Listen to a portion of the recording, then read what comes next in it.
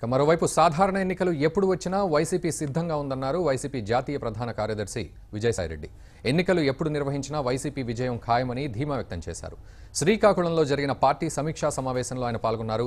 రెండు వేల పంతొమ్మిది ఎన్నికల్లో వైసీపీ విజయమే నినాదంగా ప్రతి ఒక్క కార్యకర్త కష్టించి పనిచేయాలని విజయసాయిరెడ్డి సూచించారు. ఎన్నికలు వచ్చే అవకాశం ఉంది అన్నటువంటిది చాలామంది చెప్తా ఉన్నారు. ముందస్తు ఎన్నికలు వచ్చినా ఎన్నికలు తమ షెడ్యూల్ ప్రకారం మార్చి ఏప్రిల్లో వచ్చినా వైఎస్ఆర్ కాంగ్రెస్ పార్టీ సంసిద్ధంగా ఉంది. ఎన్నికలను ఎదుర్కొనే దానికి విజయం సాధిస్తామన్నటువంటి ధీమా కూడా మాలో ఉంది.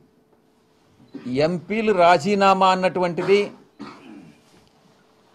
మా పార్టీ అధ్యక్షులు రాజీనామా చేస్తామని చెప్పి ప్రకటించారు.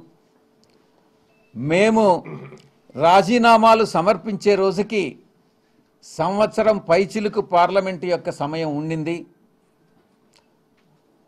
ఆ రోజైనా కూడా ఈ రోజైనా కూడా ఉప ఎన్నికలు వచ్చేటటువంటి అవకాశం ఉంది.